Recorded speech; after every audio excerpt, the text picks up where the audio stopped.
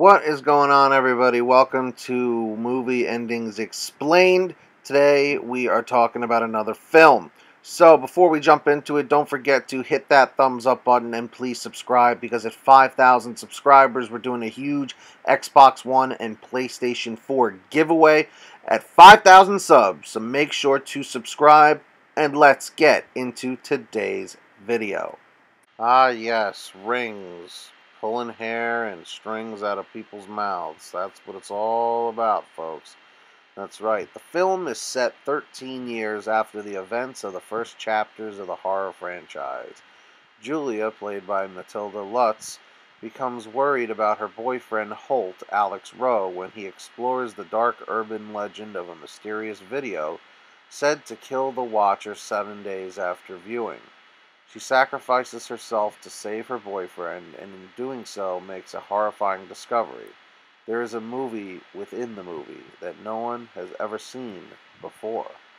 So, as far as the ending is concerned, if you've seen the other films, you kind of know the premise. The girl comes out of the well, she comes and there's water that flies out of the TV, she comes out of the TV or whatever you're doing to watch the video and she's gonna she's gonna fuck some people up. So a lot of people are gonna die. Important characters are gonna die, and it's gonna come down to the girl all the way at the end, and then uh, she's gonna find some way to survive probably. But then at the end, you're gonna see some little jump scare or a teaser or something that is going to lead you to believe that the girl, you know, in the well is still alive and kicking, you know, like there she is. She's still going to be climbing out of that well no matter what.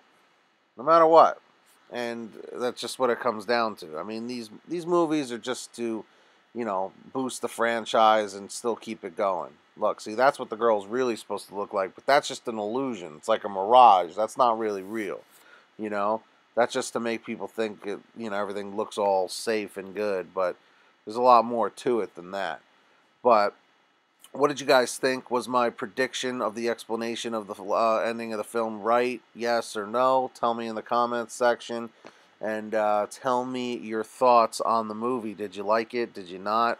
That's really all there is to say about that. Again, thank you so much for watching this video. We really appreciate it here at Movie Endings Explained. Do not forget to subscribe because at 5,000 subscribers or more, we're doing that huge Xbox One, PlayStation 4 giveaway. So don't miss it. Leave a like on this video and comment the secret code Yellow Dragon if you made it to the end of this video. We'll see you next time here on Movie Endings Explained.